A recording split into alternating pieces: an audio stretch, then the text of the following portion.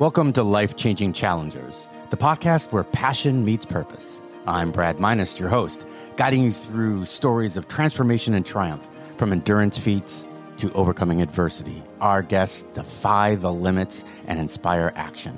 Ready to ignite your desire and incinerate your barriers? Join us. Your journey to the extraordinary begins now. And welcome back to another episode of Life Changing Challengers. Again, I'm your host, Brad Minus, as always. And I have to tell you something. I am so honored and so humbled to have Fitz Koehler on the podcast today. And you have no idea how much of like a fanboy I am now. She's a fitness innovator. She's a race announcer. She's a speaker and she's an author. She has books that she calls the Cancer Comeback Series my Noisy can- uh, Cancer Comeback, Running at the Mouth While Running for My Life, Your Healthy Cancer Comeback, Sick to Strong, Healthy Comeback Journal. And not only is she right in our wheelhouse as an, endur- as an endurance person, but she's also been on Dancing with the Stars. So we got to get into that. So, Fitz, how are you today? Well, I am freaking delighted, Brad. Thank you so much for having me on your show. You are so sweet. And you're a fellow Floridian. How awesome is that? Fellow, I'm a fellow Floridian. Where are you? Gainesville.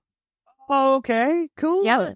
I was oh, born and raised in Fort Lauderdale, came up here for college and never left. But yeah, it's always nice to hang with a sunshine stater. Yeah. Unfortunately, I grew up in Chicago, but I am now a Floridian. You're so a smart man. Take it. Yeah. Yeah. yeah by oh, choice. Yeah. That's all the credit. I am not going through those winners again. Believe you me. But anyway, so as I ask every one of my guests, can you tell us a little bit about your childhood, where you grew up? Well, I guess you've already told us that, and the complement of your family and what the environment was like. Yeah, so born and raised in Fort Lauderdale, moved into the house I grew up in. My mom's still there when I was three. I was the youngest of three. My brother was nine years older super cool guy, super handsome, athletic. My sister, six years older, very beautiful, very athletic, mean to me or very mean to me. So I was the youngest one dealing with a lot of stuff. I would say generically, we were middle class. We always had food on the table and we went to Disney for vacations. We weren't off in Europe. And yeah, it was very reasonable upbringing. Both of my parents worked and we were scrappy. It was at a time where people weren't recording everything on their cell phones. So we got into a decent amount of trouble, never too much. I had a lot of my friends did drugs and slept with everybody.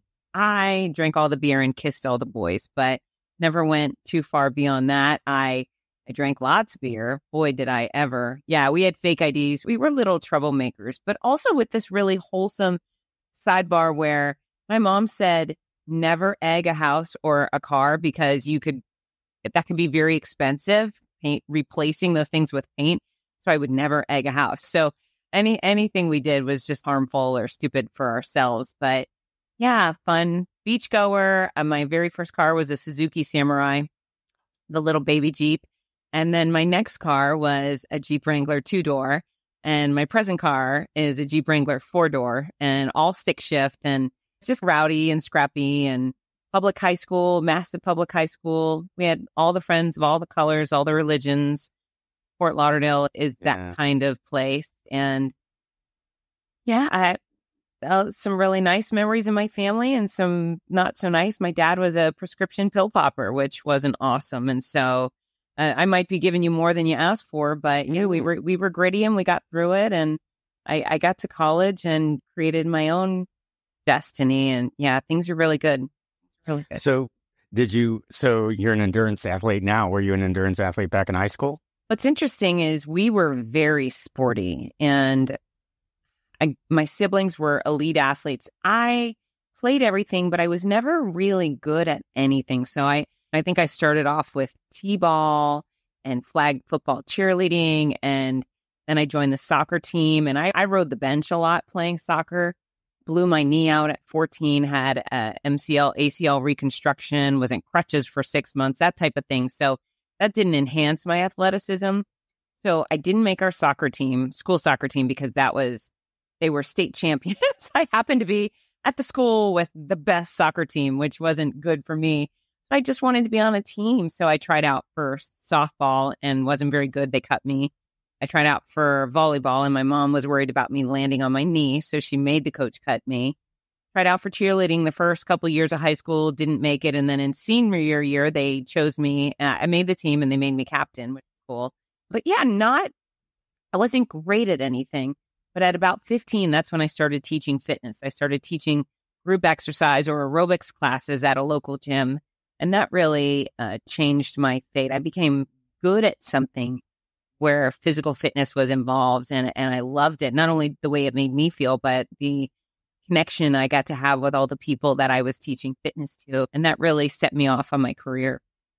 Wow. You, we were teaching fitness at 15. How does that happen? Usually people are just like, you're only allowed in the gym at 13. Okay, so this is great. So when I had my knee surgery when I was 14, I went to lots and lots of physical therapy. And before the PT released me, he told my mom, he said, you need to reg- you need to sign her up and get her going to a gym so she can continue strength training. She's going to re-injure this thing. So my mom lied. She lied and told the people at Spa Lady Fitness Center that I was 16 and so I was 14 going to the gym.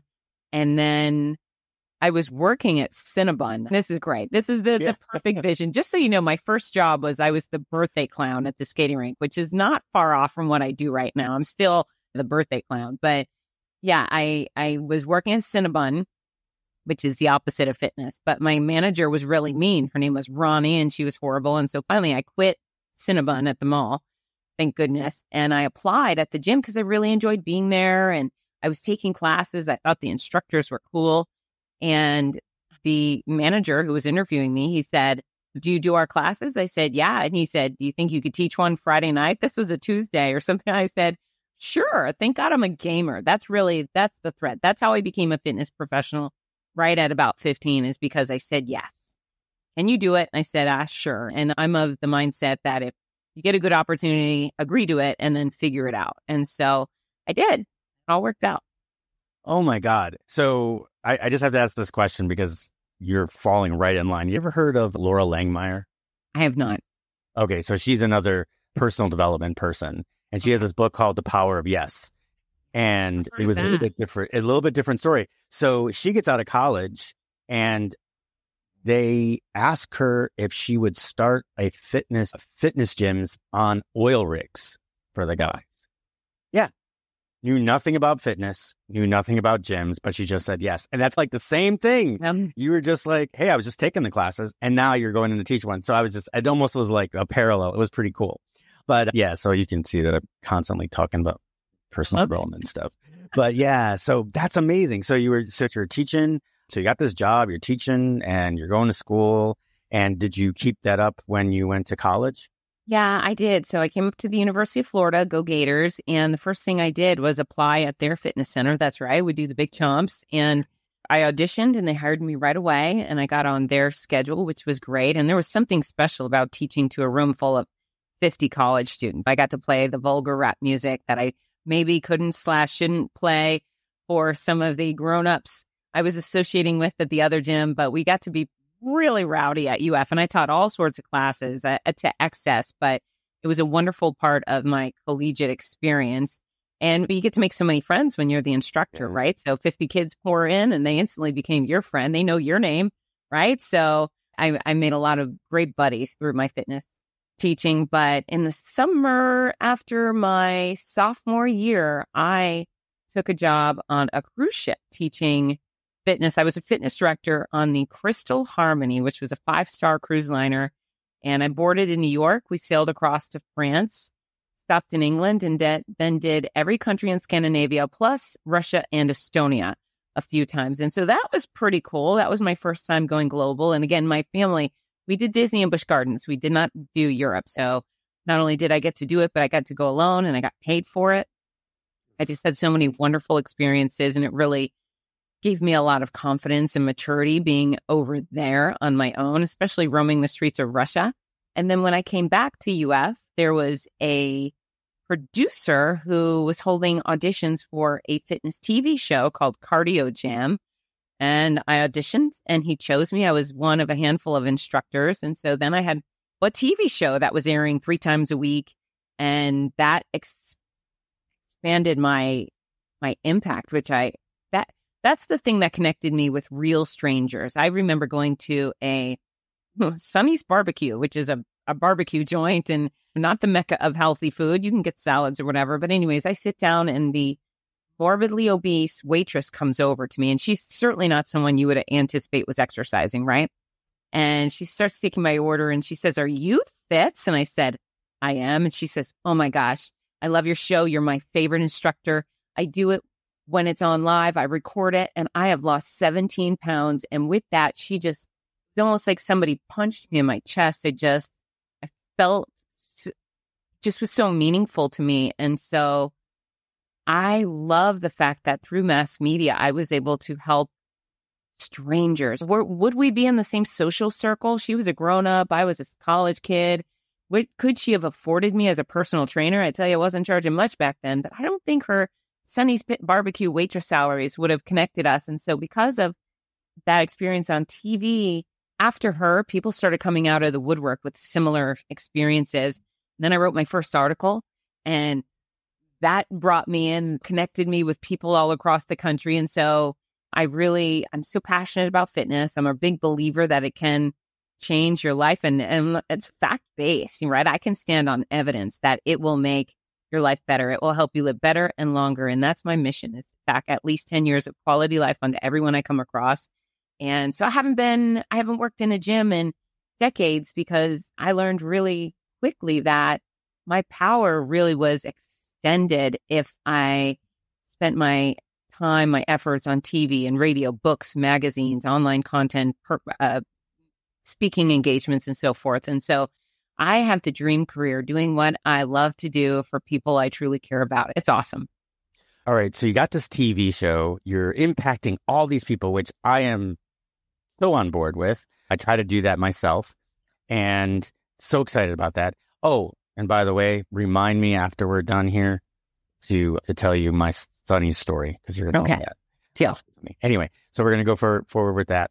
But yeah, so you you made this impact. Where did running start for you, or was that just always a part of your fitness? Yeah, so I was always running for exercise. I was a soccer player. Remember, I wasn't a very good one, but we ran a lot. We ran a lot for all sports. When I was in high school, I was a bit overweight, and so I used uh, running as a way to try to manage my weight. And I think my, gosh, I believe there was a few fun runs or 5Ks involved in my life up to a point I really can't remember. But I think my first race I did was I was training a woman with breast cancer, and her father hired me as a personal trainer for her.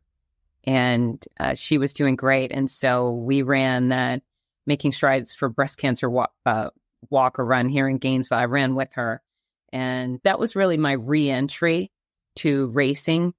And I've never been, well, never been. I, I was so proud. I was so proud. I ran the whole way with her and I just was just mesmerized by her ability to do what she was doing during treatment. And yeah, as we approached the finish line, I just backed off and let her go do it herself. And as magical. But yeah, jumped into racing excessively after that. I'm not sure how that happened, but eh. here we are. All right, so there's the segue. You were training somebody with breast cancer, and for all of you, as you've known, I've already given you all of her titles. So obviously, you had a scare and a, a of this yourself that you ended up with breast cancer. Do you want to start with how you, what were you feeling like when you start when you started to feel like something was off, and what that felt like, and then how you ended up getting diagnosed? Yeah. So interestingly enough, I never cancer never made me feel bad. I was healthy. I was actually at a race weekend getting ready to run a race when I found my lump. And I found that lump six weeks after a sparkling clean mammogram. So I had gone in at the end of December of 2018, had a mammogram. There, they didn't miss anything. There wasn't there. I'm assuming the second I stepped out into the parking lot, a cell went rogue. And so I'm at a race weekend and I get out of the shower and I rubbed my underboob. It's a Thursday. I rubbed my underboob, just I was itchy, and I found a lump. Doctor describes it as a grape size lump.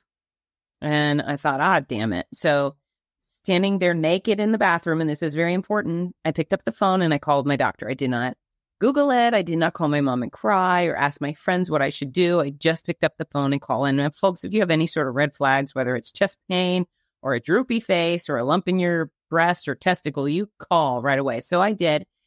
And I said, Hey, I found a lump. And they said, Hey, can you come in tomorrow? And I said, No, I'm running a race tomorrow. and they said, Okay, what about Monday? And I said, Sure. So I kept it to myself. And I went in Monday, and the doctor says, Yeah, something suspicious. Let's get some scans. And so that was Monday. Thursday, I went in. Again, I hadn't told anybody. And I had a mammogram again. And then I went in for an ultrasound where the radiologist said, What? That mass is suspicious, but you also have several hard swollen lymph nodes we're concerned about. And I thought, that's when I thought for sure I'm dying because I knew I had cancer and it had spread. I know what the lymph nodes mean, right? So the very next morning, I had a punch biopsy, and a few days later, I got a call from that surgeon that said, I am so sorry, Fitz Koehler, but that lump in your breast is indeed cancer. It has already spread to your lymph nodes. It is running through you like wildfire. And we need to treat you immediately because it is it, it's a big deal. We're treating you urgently and aggressively. And they did. And I ended up with 15 months of chemotherapy. I think I had 21 rounds. I had 33 rounds of radiation. I had several surgery, and I'm super grateful to say that I am several years cancer free. But I, I had the treatment triathlon, and it was no fun. Yeah, I can't even imagine. First of all, I'd like to know who did your first mammogram because no, they they didn't miss it, and it's very interesting because we really took that scan and they sent it to other radiologists who Gainesville's a tight knit community, and uh, I'm pals with some doctors, and people reached out and said, "Hey, I looked at your scan. She did not miss anything. It was not there." So, but again, it was this warp speed on fire. I'm going to kill you, Fitz Koehler type of booger. And I'm so grateful I found that lump because had I not found the actual lump, I wouldn't have known until perhaps I started coughing because it had settled into my lungs, or perhaps I would have been confused because it had settled into my brain. And that's where breast cancer tends to go first is the lungs and the brain. And so I, am just very fortunate that I found that lump. I want to encourage everybody to squeeze their stuff every single week. Don't wait till you're 40. Don't wait till you're 35 or 50, whatever it is. Take your hands on your stuff and have a squeeze. Grope all the little special places in your body. And if you feel something, make that phone call. Make save your own darn life. And it's so much easier to cure something in stage one or two than three or four. And so, yeah, get all the scans and squeeze your stuff. So you found this a week after the the first mammogram where they said it was six. They said it was clear. Six oh, it's six weeks. Okay, Yeah. six weeks. So with the way that you the way that you said it was so aggressive, can I ask what did they dictate you at stage one, or were you already at stage two? I was stage 2B, stage two, which is pretty quick for six weeks in. But the second it spreads, there's, it's really, there's so many different options based on each cancer case is like a snowflake. So the things that are relevant to me aren't really necessarily relevant Mhm. to everybody else. There's, uh, with breast cancer, they check three different things. One is, are you estrogen positive? Does your cancer feed off of estrogen? Does it feed off of progesterone? Progesterone, and is it H uh, HER2 positive? And basically, what HER2 means, as explained to me, is HER2 moves really fast. It's a rapid growing type of cancer. Mine was HER2 positive, estrogen positive, apparently on the border for progesterone. So I was told, hey, you got cancer. And then we were told, we're going to do uh, further exams on your sample, on your biopsy, and then we'll let you know exactly what kind of breast cancer you had. And again, back then, I didn't even know there were multiple types of breast cancer. I thought breast cancer was breast cancer. And so I get a call from this oncologist, nurse practitioner or PA. She goes, Hey, Fitz, I got your results and I want to let you know that you're, you tested positive for estrogen, progesterone, and HER2. And I let out the biggest F bomb. I was meeting with my interns at a bagel bakery. I was like, freak, I'm going to say the, the ugly word. And I was like, I am definitely dying because now I'm positive for all of these things. And they said, no, in this case, the positives are good things because if you're positive for estrogen, they know how to kill that type of cancer. If you're HER2 positive, they have a solution for that. It's really the most tricky type of breast cancer is triple negative because they're really unsure what is what your tumors are feeding off of. So, so I, I was actually lucky that I was HER2 and estrogen positive, but I don't know. Once it spreads to your lymph nodes, usually you're in for chemo, and I can attest to chemo being not a good time. In fact, out of all of my treatments, chemo was by far the worst. It just brutalized me. I was wasted. I, of course, I lost my hair, all the hair, lost my fingernails. My stomach was a catastrophe. I lost tons of weight. I was beaten up by chemo. Radiation, I didn't find very difficult at the time. It was, I didn't burn super badly like many people do. I have long lasting effects from radiation, which I hadn't anticipated. And then surgery, surgery was annoying. And uh, I was blessed with a lumpectomy versus a full mastectomy. So the poor women and sometimes men who have a full mastectomy, that means they remove the entire breast, one or both. If they choose to reconstruct, that's not just one surgery, they're having multiple surgeries. And so I really dodged a bullet with that one. There was no benefit for me having the full mastectomy. But yeah, 15 months of yikes. And uh, I'm glad it's in my rearview mirror. That's for sure. So most people don't understand it. I've actually been in the industry. Well, I don't know about the industry, but I've been around cancer kids and yeah. um, and adults and stuff a, a good amount of time. Um, luckily, I never had it. My mom is a is a breast cancer survivor. My father is a Merkel cell uh, cancer survivor. So I've been around it. But but ki- people, chemo is poison. It literally is poison. It rids you of everything you have, so that when they put the medication back in, that you start over. Well, and so yes and no. Some people are on chemo right now and they're living full lives. They've got their oh, hair, yeah. they can eat the food, they can run the races. I have a friend, Phil Decker, who's run several marathons during his mm-hmm. colon cancer chemo. So cool. But not, but some of us are just in a different boat. And they threw me what my doctor said is he was giving me in hindsight after the fact. He said, "No, I gave you the nastiest concoction we give anybody. You know, four nasty drugs, and they it was god awful. I'm thrilled for people who don't have to have that type of chemo. And really, as long as we survive it, right, we get past it. Right, right. And again, it's the what you said, absolutely the nastiest type. And that's what I was trying to just put out there. It is nasty. No, you're right. In the current time, they've found ways that they need that to use chemo and different different treatments in order to localize and find the yeah. specific cells the specific things is. But when you went through it, and because it you were three different, you did your, your breast cancer triathlon, right? HER2 progest, progest, they had to give you that in order to like wipe your body of everything so they can start again. But it's yeah, it's nasty, and yeah, I wouldn't wish I wouldn't wish that on my worst enemy, let alone you. So yeah, thank you. Yeah, it was awful. But, What's interesting is chemo number one is super scary because of the unknown, right? You walk in, you think, what is this? What's going to happen? I had friends who had breast cancer, uh, the triple negative breast cancer. And those were two my two girlfriends who I was looking to for guidance. I created a little wall because once people know, everybody's like, "Hey, my cousin's best friend had breast cancer. Let me get hook you up." I'm like, "No, I don't want to talk to everybody. I've got doctors. and to take their advice." And then I had two close girlfriends who were go- either recently finished or were going through it at the time. So I, I decided they would be the people I'd talk to, and they had triple negative breast cancer, and they had a drug that nickname is the Red Devil. And so I thought, well, clearly that has to be the worst thing. It's called the Red Devil. No, they call it that because it's red. But but both of them had said, no, I'm not really sick. I feel a little mousy, a little tired after chemo, but it's really not that bad. And so I thought, well, whatever I'm getting clearly it's going to be way better than that because it's not the Red Devil. And I was wrong. I was wrong. I was wrong. They uh, they went. I don't know. It was like a nuclear explosion went off inside of me, and it didn't stop for over a year. But again, I get to live to tell the tale. So Crimea River, right? What doesn't kill us makes us stronger, yep. and you are obviously one of the strongest that I've ever met. That's so. So you're going through all of this, right? You said 15 months, 33 different radiation treatments plus what's going on inside your head? Because you are such an optimist and you're teaching these people to get through fitness and stuff. What's going on through your head while you're going through all of this? Yeah. So, great question. That's very important stuff. It's the most important. So, originally I thought, well, surely I'm dying.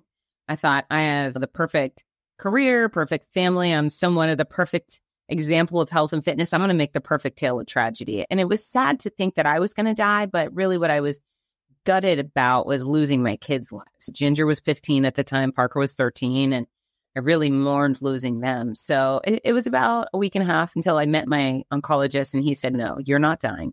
We have a plan to cure you. You just have to endure the cure. So then I thought, okay, now I have choices.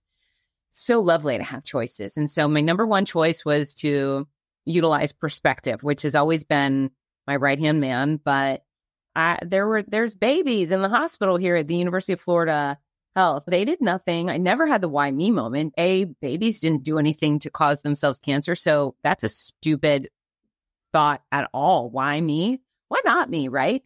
And then uh, I just kept thinking, well, it would be way harder to be a baby or a child with cancer than to be a grown up with cancer. And I was so for I was so grateful that I wasn't a parent of a kid with cancer. Right? So I think when you start thinking about what really is a worst case situ- scenario, me having breast cancer wasn't the worst case scenario. And so what I decided is that I the stress was real, the stress was unbearable. And this grief and the loss, the losses kept coming for a long time. It, it was really difficult. But I would probably cry about 15 minutes every day. I didn't schedule it in, it would just happen. when I felt it coming, I would go in my bathroom and shut the door. I'd go in my car and I'd cry and then I'd, I'd get all the boohoo's out and then I'd get on with it because I do have children and dragging them down further after they were already so fearful for me wasn't going to be okay. And yeah, I would just cry and then get on with it. And I hope people know that it's okay to feel sad. It's okay to grieve. It's not okay to, to bask in those feelings. It's not okay to wallow. And I'm a bit type A. And so my instincts are what can I do? What can I control? And and that matters not only with cancer, but everyday life is control what you can when you can. And so knowing that I was stressed, what can I do to relieve the stress? So for me, the things that worked are exercise. I couldn't always do that. So I had a duck at the time, spend time with my duck, spend time with my dog, be outside.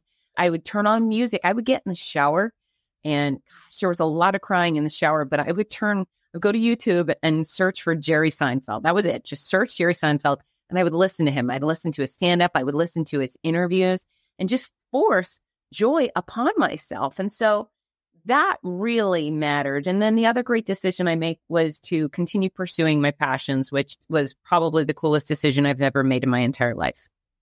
Wow. Oh, so that's fantastic. So I'm gonna I'm gonna run down this list because you gave us some great little things. So first of all, you get into a situation that's not, it doesn't have to be cancer. Right. It could just be an obstacle in your way. It could be some a little bit of adversity that you need to get through. But basically, what you said is utilize perspective, right? Yeah. And basically, you said comparing yourself to people that might have it worse, might even have it better, and w- find where does your perspective lie. And then you said allow yourself to cry, allow it to happen, but don't bask in it. Yeah. Give yourself some time, allow yourself to cry, and then move on. And then determine what you can control. The serenity prayer. Yeah, that's right. Yes. Allow me the strength to allow me the strength to control what I can and the wisdom to know the difference between yeah, yeah. what I can and what I can't. Yeah. Unfortunately, I don't have them off the top of my head, but great thing. And then force joy and then continue pursuing your passions. Yeah. Am I missing something? No, you nailed it. That was it. That was it. That's my big, my words of wisdom right there, Brad. All right. I love that. So the interesting thing is that, so we were, we, t- we went back and you said that you had done a 5K with someone that had breast cancer. And unfortunately, maybe I made an ass out of myself, but I assumed that was after your No. cancer. No, was it's 20 something years ago when I was doing personal training. That's been a long time. But yeah, it was many years ago. And it's interesting. I think I was probably about 22 when I showed up at a, a fitness conference and I took a course on how to train women who had been through breast cancer care. And I learned so much about it.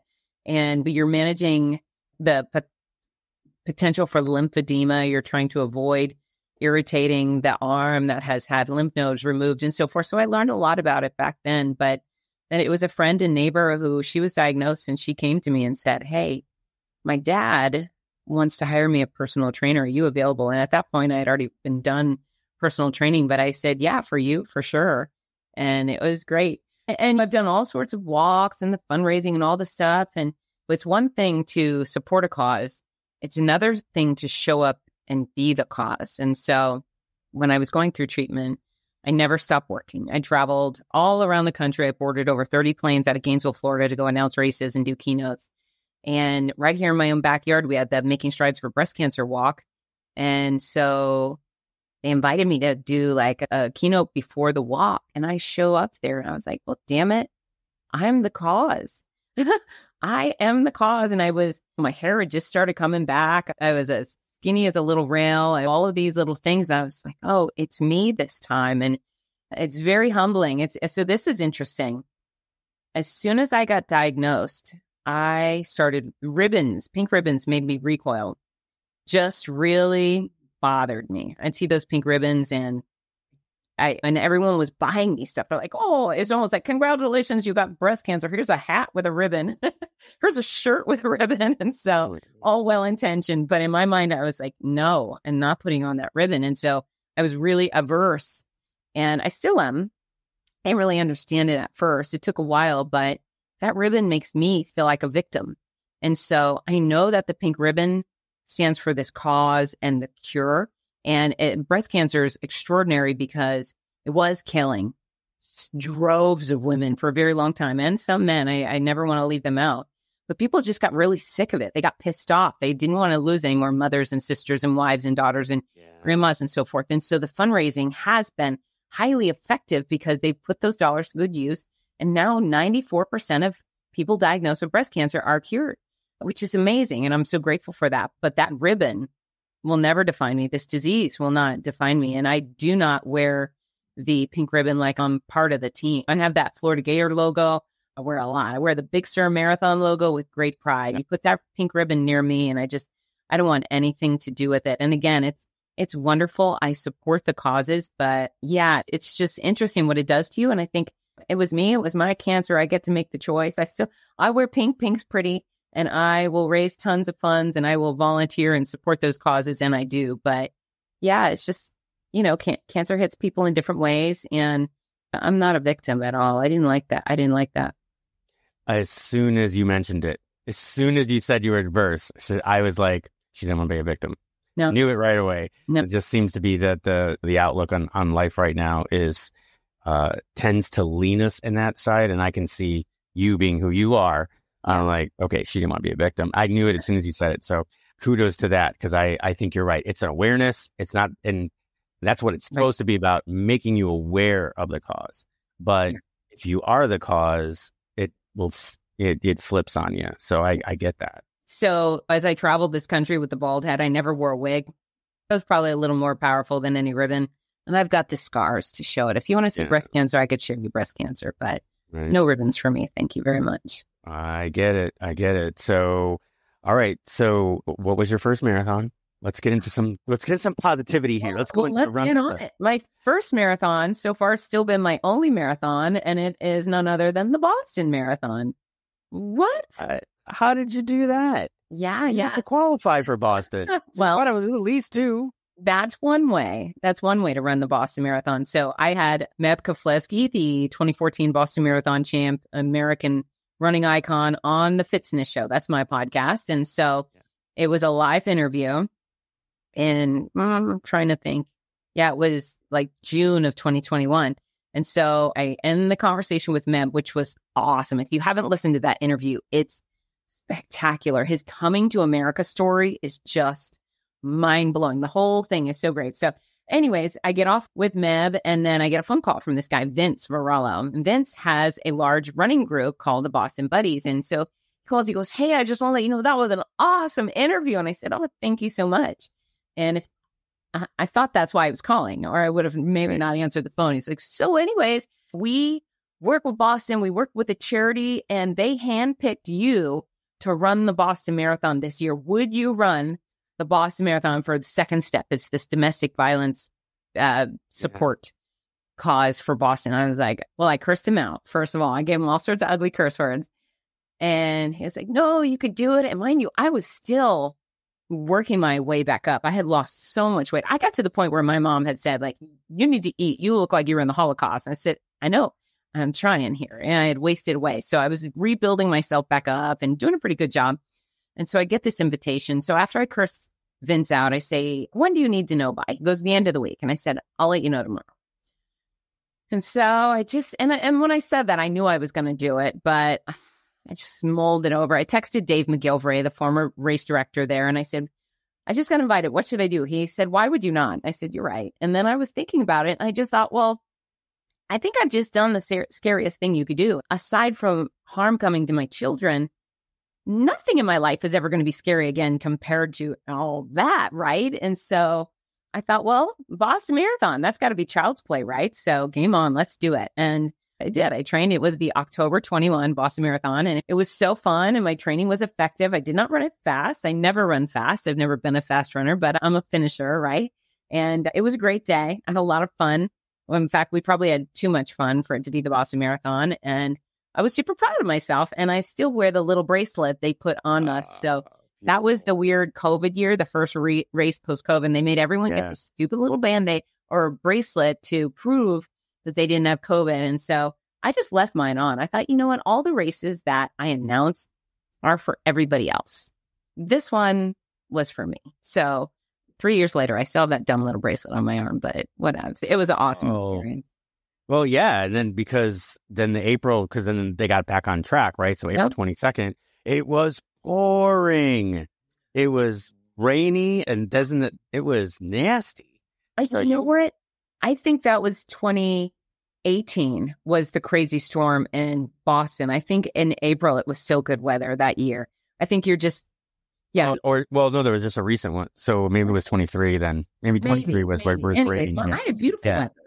You had mm-hmm. beautiful weather. Yeah. I thought the very next, I think that very next April, they had like, it was crap. But Maybe it maybe, was. maybe rain. Maybe it was 2023. Yeah. Cause it was, it, there was, but yeah, 2018 was a torrential downpour. That's when Yeah. Des Linden Yep. ended up winning. And the guy from Japan. Yeah. That's when he won that one as well. Dark yeah. I'm a big Des fan. But just to give you my little story about Meb, I Meb lives out here in Tampa. Yep. So I see him all the time. I go to I I have a group that I coach on Tuesdays at a middle school out here, and his daughter runs with one of my one of my ex coaches, Dror Benkin, and so he's out there. And then he's got a he's got a race every year called Run with Meb. Yeah. And then he's a good friend of a of a running group that I coach that I coach for called Run Tampa. So he's always there too. So all of one of the races that we do, he'll show up, be entertained. We'll be able to talk to him. And you're right. The most down to earth, Yeah. grateful, humble person that you've ever met. You never believe it. So I've worked with Meb quite a few times, Philadelphia Marathon and Gasparilla a bunch. He's our special guy at Gasparilla, right? And so it's so funny because we pair up, we do book signings together at the expo. I bring my books, he brings his, and Yeah. blah, blah, blah. But he's always like, Thank you so much for partnering me. You bring such a long line. I'm like, No, big deal. those people are here for you. Maybe a few for me. He's like, No, he's just humble to the nth Yeah. degree. He is such a lovely, decent man. Next time you see him, you run up and you tackle him with all your might. You give him this big old bear hug. And then when he, right before he slugs you, you say, No, that was from Fitz. I don't know. Okay. You got it. You got it. I will do that because his his daughter is a heck of a runner. She definitely got the genes. And I so he was we're at the tinsel run and he was had a long line of people taking Yeah. pictures, signing stuff. And I'm talking to his daughter and I'm like, Yeah, so is this something that happens all the time? She goes, You'd be surprised. Not really. She goes, I'm like, he doesn't. So you're not in the grocery store. She goes, once in a great while, someone will mention it, but most of the time it's only when he's in the community. But so go ahead. I was just going to say, so that's our sport is we do not have household names. We don't have any athletes that my mother has ever heard of, or probably your mother has ever heard of. Of course, she knows who Tom Brady is and A Rod, and there. That's it's the running sport is we don't have household names, but we do have people that are special for us, and that's probably good for their quality of life, right? He gets to go to the grocery store without being harassed, and then when he shows up at a race, he knows he's going to get lots of extra love. Yeah, I yeah. For me, it was always um, Rinda Carfrae and, and Tim O'Donnell, and every time I got to see them, they've been out here a few times doing triathlons. They've and I've gone and done triathlons that they've been at, and I was a volunteer when Mirinda was running, and that always was a big thing. And but yet, yeah, I, when I talk to them, like I've talked to Tim on the phone, and he's like, "Yeah, it's not. It doesn't happen like I'm Tom Cruise." He I've never heard of them. Oh, yeah. So those are two Ironman world champions. Okay. Yeah. So okay, and you're even in the and you're even in the business. Yeah. Yeah. So yeah, and they're definitely running versus versus triathlon. You're going to Yeah. have the same thing. But I get, you know what? That's a great. I would say that would be probably a good thing grati- gratification for them is the fact that you're right. They can go to the grocery store, to the library. They can go buy. They go buy a newspaper, and they're not going to get tackled. Yeah. At least not the way that you do. But so, what got you into race announcing? So I was, for lack of a better word, I was the fitness expert for Run Disney. I would show up and teach clinics at their events. So strength training for runners, pain prevention and management for runners, blah, blah, blah. And I would speak a couple times per weekend. I did that for a couple years. And their race announcer, that well, they had a, they have a stable, but their premier race announcer, the big voice, the one everybody loved, was Rudy Novotny. And Rudy, uh, he he and I became friendly, just how you doing kind of friends. And then he was stuck introducing me at the expo. He would work the expos, and that's when they had the speaker series. So he was always stuck saying, and our next speaker is Fitz Koehler, blah, blah, blah. And so he would sit there through my presentations and he when I'd get done, he was just so complimentary. Blah. And eventually he said, you know what? I I need a co-announcer for the OC, the Orange County Marathon in California in a few months. Are you interested? And I said, Well, I've never done it before, but I see what you do. It looks like a lot of fun. It looks like it'd be within my wheelhouse. So if you show me the ropes, I'd love to give it a try. And so he connected me with the race director, Gary Kutcher. And I'm so grateful to the two of them because they really have handed me this career on a silver platter. And so Gary and I chit chatted. He went to Fitzness.com. He looked around and he said, you know what? Come and give it a try. And let's see how it works. And so went to the OC. We had a big day Saturday with about 5,000 kids running the kids races and love that. And then on marathon morning, about an hour after I yelled go for the first time, he came over to me at the finish line and said, would you please come back next year? And I said, for sure.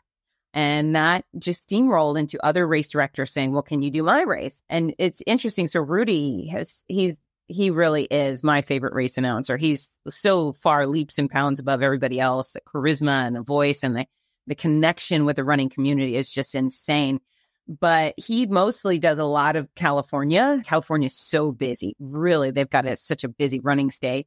And I have, I, most of my races are all over the place. I definitely do a bunch in California. Big Sur, Los Angeles was mine for a long time. Oh, yada yada, but Buffalo, Fargo, Gasparilla, the Donna, Rocket City. And so I tend to bounce around the country uh, more. And I, I'm sure I've announced well, a few hundred races over the past 10 years. And I would like very much to announce a race in every state.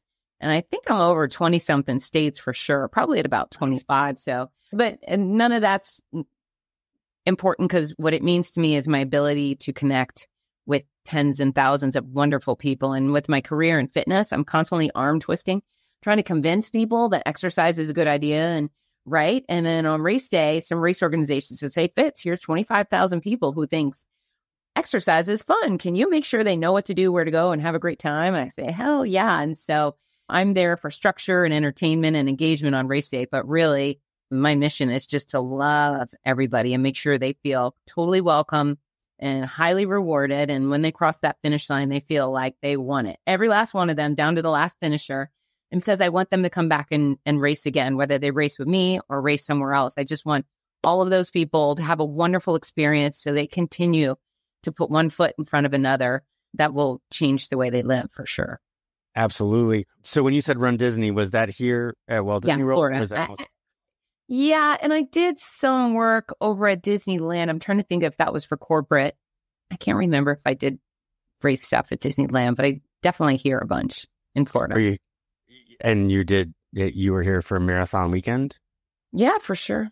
Yeah. Oh, well, I just want to know because I, so I've done the Dopey five times and the Goofy seven times. So I, yeah, that's like one of my favorite races. And when I talk to my, in September, I usually get a, like, I get a plethora of people that get onto my roster on September, in September because they want to run Okay. the Disney Marathon. Yeah, yeah. So September rolls around and all of a sudden I got emails after emails and like, hey, can you get me Nice. to my first marathon and blah, blah, blah, blah. So yeah, so I end up being out there. Plus I was a, I was a coach for a while for the Lymphoma Leukemia Society. So I coached there as well as run it. And yeah, I love Run Disney. And I always tell people, I'm like, you don't do Disney to PR. Mm. I tell Yeah. them all that all the time. Yeah. Matter of fact, when I tell them, and I says, you know what my PR is when I do Disney races? How many pictures can I get? And I hope I get one more than last year. That's right. Yeah, it's a very different experience and weird and fun and fabulous. I haven't really done ru- anything with Run Disney. I think since about 2016 or 2017. It's been a long time. They they just started shutting down a lot of the offerings. There was a heyday of Run Disney where they everything was firing on all cylinders and everybody felt like a VIP. And then they started cutting back and they cut back on the speaker series and they cut back on a lot of other things. So people still love it though. People still love it. Yeah, it was. Uh, yeah, unfortunately. So the races used to op- be open for a month. Like you could sign up for about a month, Right. and they cut down so many slots that you're within an hour it's sold out. Yeah. and it's very tough to get into unless you know somebody or you just happen to have three phones sitting in front of you at the moment that they open it up, which is sad because it used to be such a. It was like you said, they treated everybody like a VIP. It was Yeah. wonderful. But you know what? Hopefully they're working their way back and hopefully that'll pop back in. But oh my God, this has just been amazing. What's your next engagement? What's your next ra- race that you're announcing? So I have a wonderfully quiet summer, which I'm quite grateful for because it's been chaos. But I, I go to Canton, Ohio in mid July for the USATF Women's 6K Championship. And I've been announcing that for, I think it's four years and it's awesome. They, we bring in some of the fastest women in America. Keira D'Amato's run it. Molly Seidel was there last year. We've had a bunch of heavy hitters. Fiona, who won the Olympic trials, I believe she's one of ours. And yeah, so we have this big group of elites that come in, they win money and they win titles and points for their USATF efforts. And then we have a pack of real everyday women and girls. It's a women's only event and that'll be a lot of fun. And before I do that, I will go to the Columbus Zoo. So this is a little Fitz Koehler fun fact is I'm obsessed with animals and I travel alone a lot. And so a really nice thing to do when you travel alone and you like being outside and you like being active is roaming around zoos. So I probably have been to a zoo in almost 25 states too now. So I'm trying to make my way around the country. And, and I think the gold standard for a zoo is if they have a grizzly bear, a polar bear, or a cassowary. And those are the three big ones for me. And then everything else can fall where they may. So I'm going to go to Columbus Zoo this year. I was at Cleveland last year. This year's Columbus, and I'm really stoked about that. And I'm a Oh, nerd. I'm a total nerd. I, I I'm right there with you. I'm right there with you. I have seven cats. Oh my gosh. Okay. Yeah, and the only reason, and they would be dogs if I didn't train so much and I wasn't away from home and coaching and everything. Otherwise, they'd be dogs. I just feel like dogs, you need to be around them all the time. They need to have their people. Cats are okay with you being around just a few hours a day. They do their own Cats don't really care, do they? They're like, mm, get out of here, Brad. We, we've got Get there. sort out.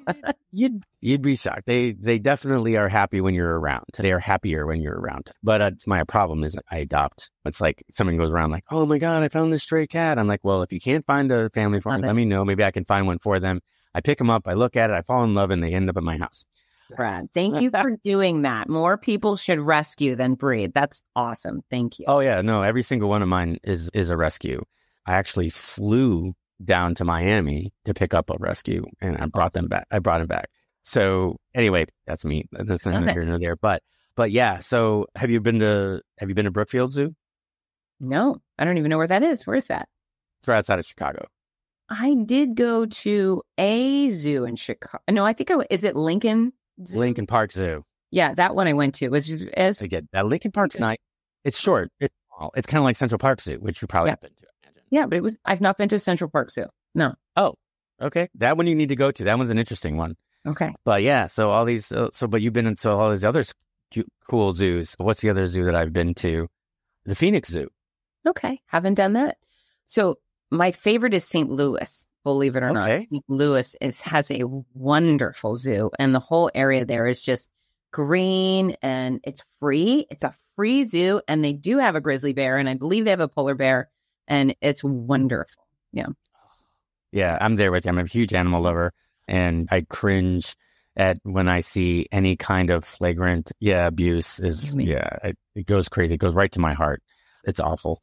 But anyway, well, listen, let's let's wrap this up. I am so I am still so humbled that I get to that I get to meet you in person. I am just over the moon, joyed and humbled that you were able to come on Life Changing Challengers. And so, for the rest of you, uh, in the show notes, you'll have a link right to Fitzness.com. You're going to get to, you'll have a link to all of her books. You'll have a link to her podcast. Mm-hmm. So, so please follow and share this episode and for the Fitzness podcast and the books. And yeah, and visit Fitz out there in cyber in the cyber world. We'll also have her. We'll all have, have her socials posted on the show notes as well. So take a look at that. Yeah, thank you. Thank you. And I'd love to ask everybody if you are going to follow, please reach out and say hi and let me know you heard me on Brad's podcast because the best part about what I do is actually connecting with people. So I do promise quality content for the follow, but I'd much rather have friends than followers. And then, of course, if we could see each other on race day, get a little race day loving, that would be super nice. So, yeah, don't be shy. Nobody should be shy around me. So, all right. So before you go, are you already are you already scheduled for Gasparilla 2025? Yes, I will definitely. All right, Gasparilla. I am going to see you at Gasparilla. I'm going to make sure of it. Excellent. So excellent. So again, so check out the show notes for all that information. If you've seen the if you've seen the episode, go ahead and share, like, and drop a little review if you'd like. I would appreciate it. Other than that, we will see you in the next one. Well, that wraps up another episode of Life Changing Challengers. I'm your host, Brad Minus, saying thank you for joining us on this journey of transformation. If today's stories inspired you, please take a moment to review, share, and follow us on your favorite podcast platform. Your support helps us reach more listeners and create an even bigger impact. Remember, every challenge is a chance to grow. Until next time, keep pushing, keep challenging, and never stop pursuing your extraordinary.